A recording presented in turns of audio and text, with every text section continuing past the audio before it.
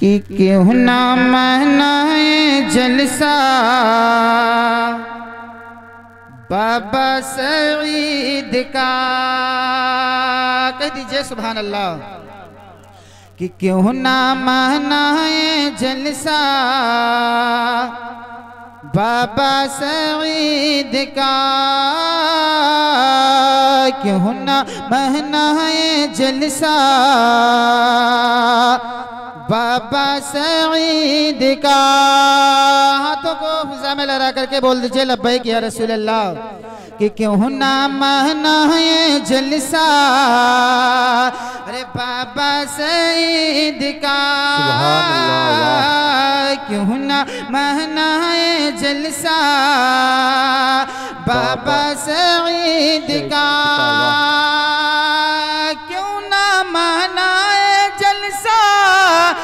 बाबा सईद का खाते अरे खाते हैं हम सब सदका। अरे खाते हैं हम सब सदका। बाबा सईद का खाते।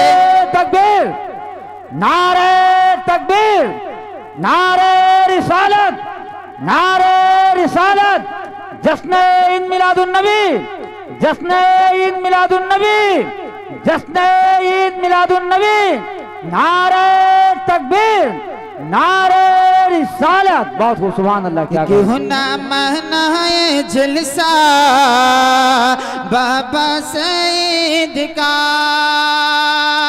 क्यों ना मनाए जलसा बाबा सईद कि?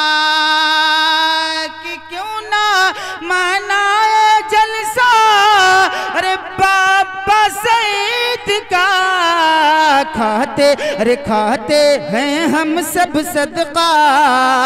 अरे बाबा सईद का। और अल्लाह वालों की मोहब्बत का क्या नतीजा होता है? आज रात समात फरमा ले। इरशाद हुआ था, क्या कहना? पूछेंगे तुझसे मुनकर नकीर भी। मास्टर साहब खास तवज्जो कहना बेशक सुबह अल्लाह कुछ ना पूछेंगे तुझसे मुनकर नकीर भी। कुछ ना पूछेंगे तुझसे मुनकर नकीर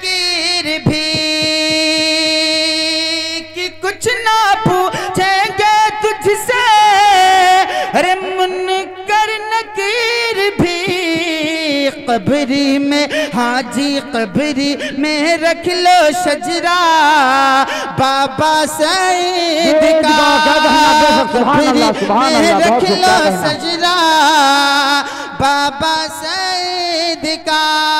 और आखिरी शराब रात की समातों के वाले समात फरमा ले इरशाद दीदार जन्नत जिसको करना है दोस्तों। दीदार जन्नत जिसको करना है दोस्तों।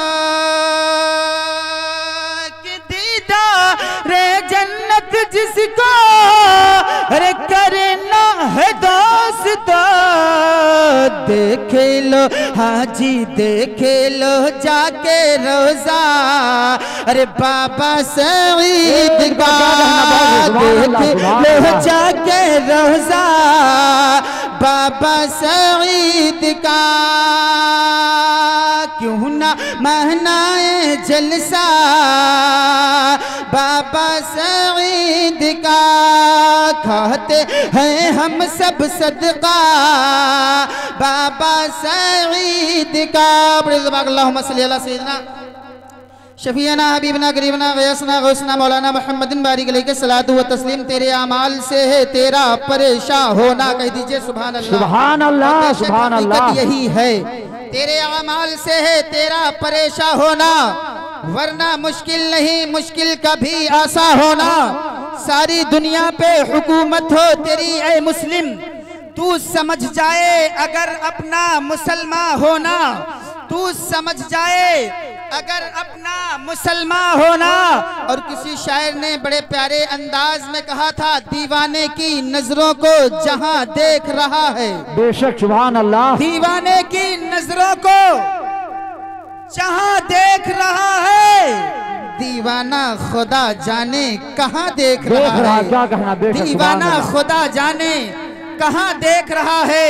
और दीवाने को तहकीर से दीवाना न कहना दीवाना बहुत सोच के दीवाना बना है। दीवाना बहुत सोच के दीवाना बना है। और किसी शायर ने बड़े प्यारे अंदाज में कहा था अल्लाह के दीवाने जिस समत निकलते हैं। अल्लाह के दीवाने जिस समत निकलते हैं पत्थर की हकीकत क्या फौलाद पिघलते हैं? पत्थर की हकीकत क्या फौलाद पिघलते हैं?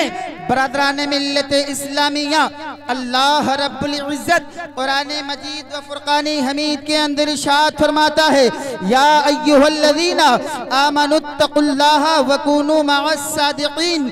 ऐ ईमान वालो, अल्लाह से डरो, व कूनू मअस सादिकीन। और सच्चों के साथ हो जाओ, अल्लाह रब्बुल इज़्ज़त दूसरी जगह अपने, यानी अपने दोस्तों का बयान करता है। अल्लाह रब्बुल इज़्ज़त दूसरी जगह कुरान मुकद्दस में अपने वलियों की पहचान बताता है। अल्लाह रब्बुल इज़्ज़त इरशाद फरमाता है। अला इन्ना औलिया। अल्लाह ला खौफुन अलैहिम वला हुम यहज़नून। बेशक अल्लाह के वली वो हैं, जिन्हें ना कोई खौफ है, ना कोई हुज्न मलाल है। लेकिन अल्लाह वाले हैं कौन? अल्लाह वाले यानी कौन हुआ करते हैं? और बिरादरान मिल्लत इस्लामिया, एक बात एक बात और आप इस जलसे से सीख करके जाएँ। आप यहाँ से जाएँ, एक पैगाम लेकर के जाएँ कि अल्लाह रब्बुल इज़्ज़त ने आखिर दुनिया में अल्लाह ने अपने वलियों को क्यों पैदा फरमाया? क्या अल्लाह रब्बुल इज़्ज़त वलियों का मोहताज था? नहीं नहीं। बरदरान मिल्लत इस्लामिया। आओ, मैं आपको एक मिसाल बताता हूँ। आओ, मैं आपको एक मिसाल आपके जहन में डालता हूँ। आप हजरात अपने घरों के अंदर बारहा देखे होंगे घर के आपके घर में रोटियाँ बनती हैं। बरदरान मिल्लत इस्लामी क्या आपसे पूछा जाए कि रोटी किस चीज़ पे बनाई जाती है तो आप कहेंगे आग पे बनाई जाती है, लेकिन नहीं नहीं, आग पे नहीं बनती है। डायरेक्ट आग पे नहीं बनती है। रोटी को बनाना, यानी बनाया जाता है, आटे को गूंधा जाता है। गूंधने के बाद अगर उस रोटी को डायरेक्ट आग में डाल दिया जाए तो वो जल जाएगी। बरदरान मिल्लत इस्लामिया अक्ल का इस्तेमाल करने वालों ने उस रोटी को पकाने के लिए, उस रोटी को खूबसूरत बनाने के लिए, उसको खाने के लिए एक इंतज़ाम किया, एक तरीका सोचा। वो तरीका क्या है? यानी आग को जलाया और जलाने के बाद उसके ऊपर एक तवा रखा। उसके ऊपर एक तवा रखा। तवा रखने के बाद बरदरान मिल्लत इस्लामिया आटे को उसके ऊपर डाला। अल्लाह अकबर, अब आटा की वो हकीकत नहीं थी कि यानी आग में डाल दिया जाए तो रोटी बन करके तैयार हो जाए, क्योंकि आग बड़ी ताकतवर है, आटे से ज़्यादा ताकतवर है। अगर डायरेक्ट डाल दिया जाता तो आग इसको जला देती, लेकिन अब जला नहीं रही है। उसके ऊपर एक तवा रखा है। नीचे से आग यानी जल रही है। आग की गर्मी को तवा ले रहा है और तवा लेने के बाद उस गर्मी को आटे तक पहुँचा रहा है। वो हमारे लिए रोटी बन रही है वो हमारे खाने की गिजा बन रही है। बिरादरान मिल्लत इस्लामिया, इसी तरह अल्लाह रब्बुल इज़्ज़त ने अपने नेक बंदों को दुनिया के अंदर इसलिए पैदा फरमाया कि शैतान को जब जन्नत से निकाला गया था तो शैतान ने कहा था "ऐ अल्लाह रब्बुल इज़्ज़त, मैं तेरे बंदों को भटकाऊँगा, मैं तेरे बंदों को गुमराह करूँगा। अल्लाह रब्बुल इज़्ज़त, मैं तेरे बंदों को राह रास्त से, यानी दूसरे रास्ते, गुमराही के रास्ते पर लेकर के जाऊँगा। अल्लाह रब्बुल इज़्ज़त ने इरशाद फरमाया, मेरा दुनिया के अंदर मेरे नबी जाते रहेंगे, हिदायत देते रहेंगे, अच्छी रास्ता बताते रहेंगे। शैतान ने कहा "ऐ अल्लाह रब्बुल इज़्ज़त, जब तेरे नबी दुनिया में तशरीफ़ ले जाएँगे तो फरमाएँगे, लाबादा नबी क्या? मेरे बाद कोई नबी नहीं आएगा। ऐ अल्लाह, उसके बाद भी भटकाऊँगा। अल्लाह रब्बुल इज़्ज़त ने कहा, उसके बाद मैं उनमें, यानी मैं अपने अलिया अपने दोस्तों को पैदा फरमाऊँगा। जब यानी बंदा गुनाहों के रास्तों के ऊपर भटक जाएगा जब गुनाहों के रास्तों में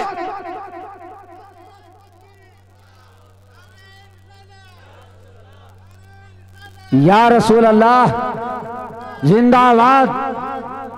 जिंदाबाद। जिंदाबाद अल्लाह अकबर।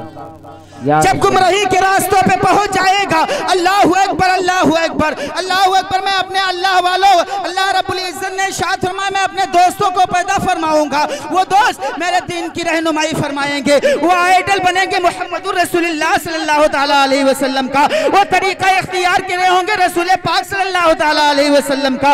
अगरचे गुनहगार, अगरचे बदकार, अगरचे सियाकार गुनाह करने के बाद, शैतान के बहकावे में आने के बाद, बिरादरान मिलते इस्लामी का। अगर उसके दिल के अंदर नारे तकबीर नारे रिसालत।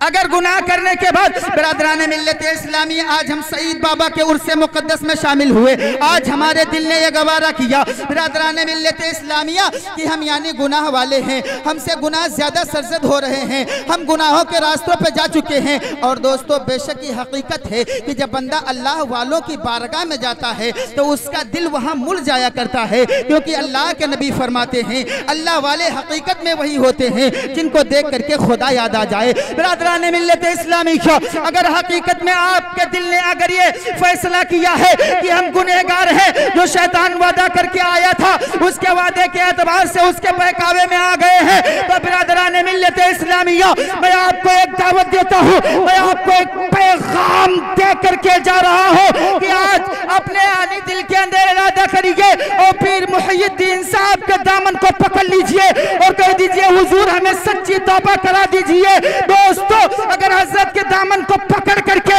अल्लाह की बारगाह में तौबा करोगे, मेरा दावा है, ये गौसी आज़म की बारगाह तक आपको पहुँचा देंगे।